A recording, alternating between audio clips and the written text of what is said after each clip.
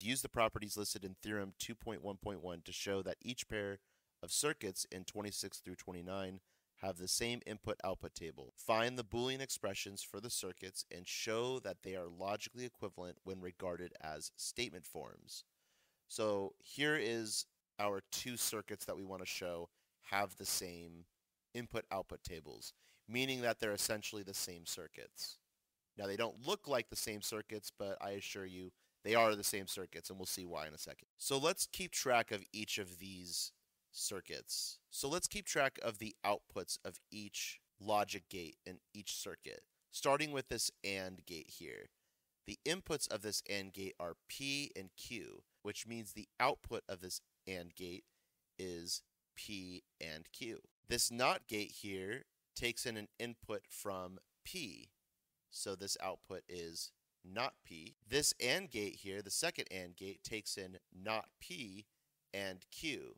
So the output here would be not P and Q. And lastly, I have a NOT gate here, which takes in an input from Q. So the output of this would be not Q. And then the inputs of this last AND gate would be not Q and P. So the outputs would be not Q and P. And so now we have an OR gate, which takes in inputs from P and Q, not P and Q, and not Q and P.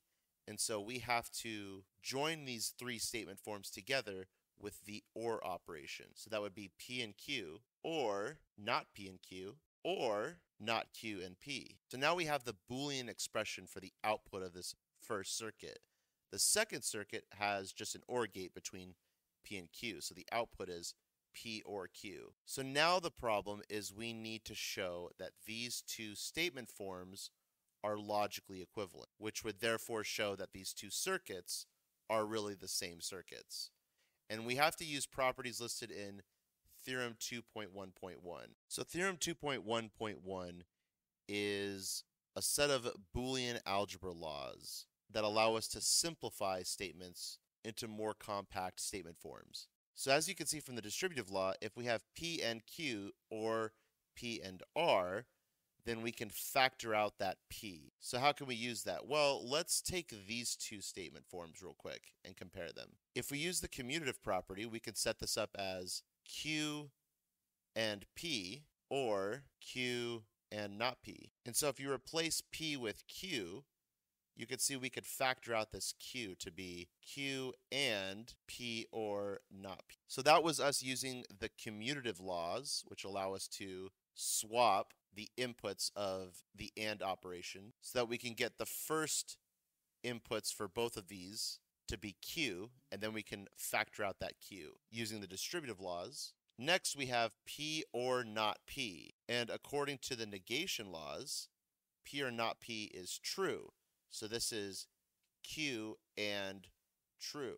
And then according to the identity laws, P and true is just P, which means that P and true is just logically equivalent to P, which means that Q and true is logically equivalent to Q. So now we can replace this entire first part of this with just Q. So we're left with Q or not Q and P. Now we can use the distributive law again. Now we can use the other part of the distributive law. We can distribute this Q, and I'll write this next piece below here. We can distribute the Q to be Q or not Q, and Q or P. And once again, according to the negation laws, Q or not Q is true. So this is true and Q or P. We're almost done here.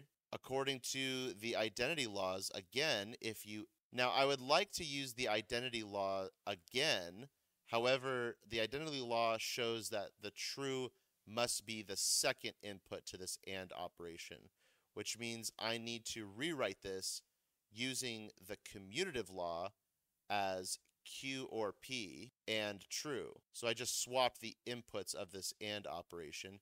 And now we can use the identity law again to show that this is just Q or P. And that is the final simplification of the first, of the Boolean expression representing the first circuit.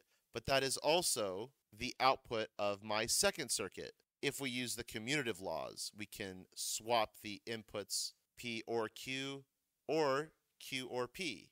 Either or they're the same, which means these two logic circuits have the same output. And so they're essentially the same circuits. Even though they don't look the same, they are logically the same, which means that their outputs are going to look identical.